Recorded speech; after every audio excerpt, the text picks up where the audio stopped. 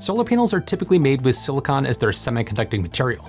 But you know what they say, the grass is always greener with cadmium telluride. Wait, what do you mean you've never heard of that? Well, I don't blame you. Cadmium telluride based photovoltaics, or CDTE for short, are like that underrated indie band that you've never heard of that's quietly building a cult following. Sure, they're the second most common kind of panels after silicon PV, but when silicon still makes up the vast majority of the market by a long shot, that doesn't mean as much. So what on earth are cadmium telluride solar panels? And if they're already in use today, why are they the solar panel industry's best kept secret? I'm Matt Ferrell. Welcome to Undecided.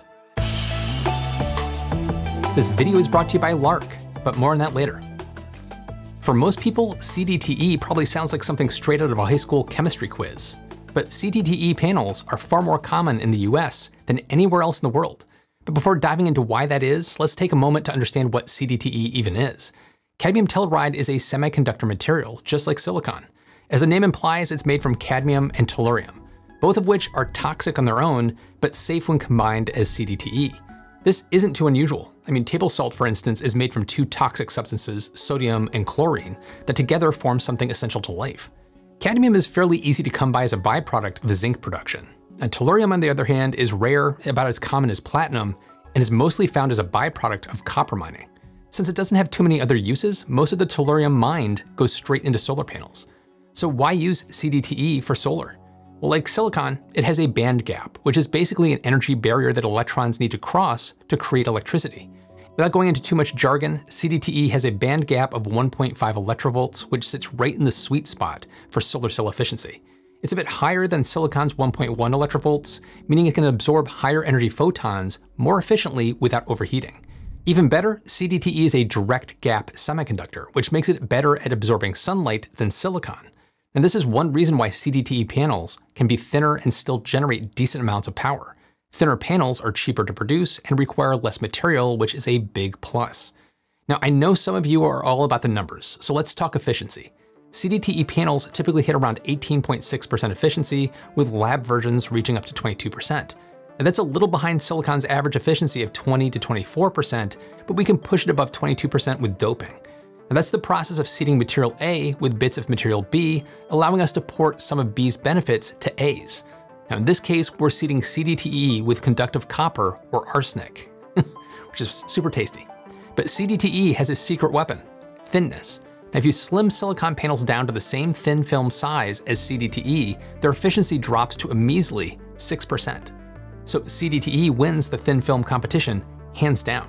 But what about perovskites? They're like the solar industry's equivalent of a solid state battery, always just a few years away from greatness. These materials can reach an impressive 26.7% efficiency. The catch? Perovskites are notoriously fragile and degrade quickly when exposed to heat, moisture, and even sunlight, which is kind of ironic for a solar panel. Now, until we can toughen them up, CDTE's durability keeps it in the game. The US-based company First Solar, more on them in just a minute, is a major CDTE manufacturer and claims their panels maintain over 89% of their original performance after 30 years. That's a big deal for long-term solar installations. So while cadmium telluride isn't as efficient as perovskites, it's more reliable, easier to produce, and already widely available. That's right, CDTE isn't just mature, it isn't just commercially viable, it's kind of commonplace. Like I said, it's actually the second most common PV technology on the market right now, second only to silicon. And that naturally raises the question, if it's already here, then where is it? Because we almost always hear about silicon, but not cadmium telluride. And speaking of something that's right under our noses but goes unnoticed most of the time, it's plastics. It's in almost all of the products that we buy, and unfortunately, single-use plastics are a major issue.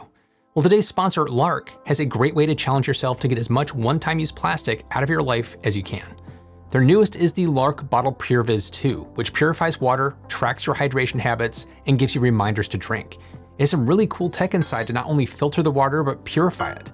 It uses UVC LED technology to automatically purify the water every two hours, and the filtration removes things like PFAS and chlorine, so you get safe, great tasting water.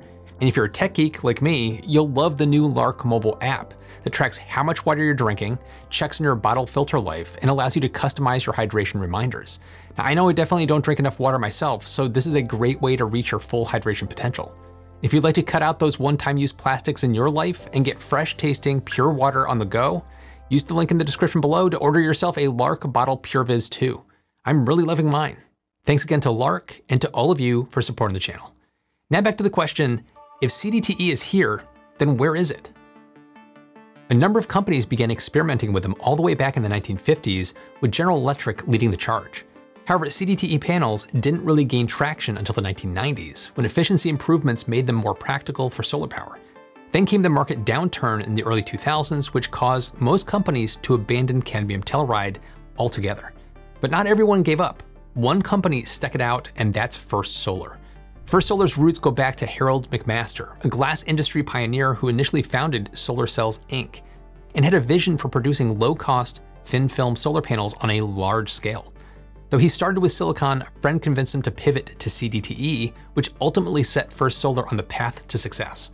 The company launched its first commercial CDTE product in 2002, and since then, they've been steadily increasing both the efficiency of their panels and their output. As of 2023, First Solar has an energy production rate of 16.6 gigawatts and a commercial module efficiency of 19.3%. And that's just in the field. In the lab, they've pushed cadmium telluride efficiency up to 23.1%, as confirmed by the US National Renewable Energy Laboratory.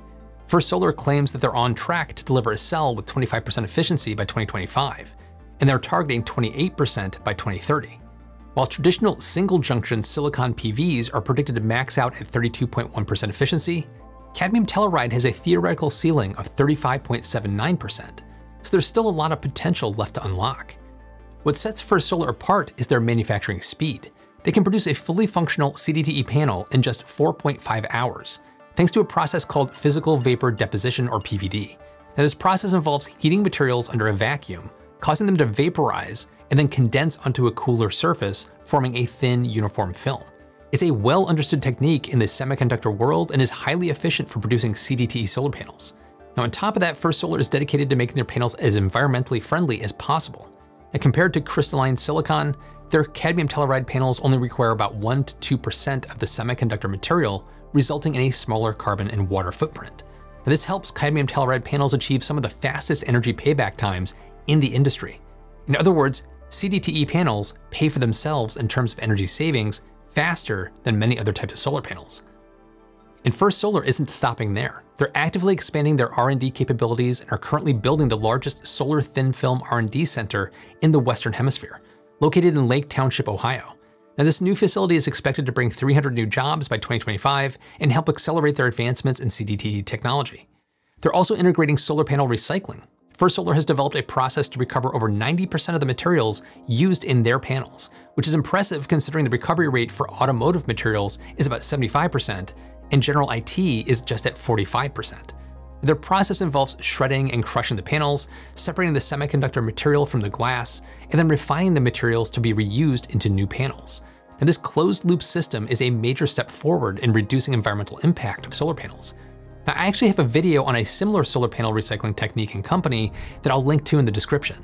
And yes, solar panels can be recycled. If cadmium telluride is so popular, how come we really don't see it around us on a day-to-day -day basis like we do silicon? Well, I did say it's the second most common photovoltaic technology. I did bury the lead just a little bit. CDTE panels only make up about 21% of the photovoltaic market here in the United States as of 2022, where First Solar is based. But when you look globally, that number drops to just 4%. That's a huge gap. So why is cadmium telluride adoption lagging so far behind silicon? Well, cadmium telluride is not without its drawbacks. I already hit on the toxicity, which is going to make end-of-life recycling a little more critical. And I should note that even though tellurium isn't expensive, its rarity is still a limiting factor. Though ironically, one of cadmium telluride's biggest strengths might actually be a major weakness. You see, the copper doping methods that boost CDTE's efficiency to competitive levels also shorten its lifetime. Talk about a toxic relationship. According to the National Renewable Energy Laboratory, copper tends to move around within the cadmium telluride cells over time, eventually degrading the lattice structure of the material. NREL and First Solar are working to solve this problem with a process called copper reduction, nicknamed CURE, that optimizes the amount of copper used or even replaces it with arsenic. And these efforts have already helped to reduce the degradation rate to just 0.2% per year.